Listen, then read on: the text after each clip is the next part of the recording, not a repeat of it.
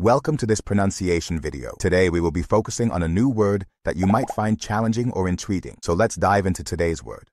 Conformando, which means, Currently, no direct or well-known English definition found. let's say it all together. Conformando. Conformando. Conformando. One more time. Conformando. Conformando. Conformando.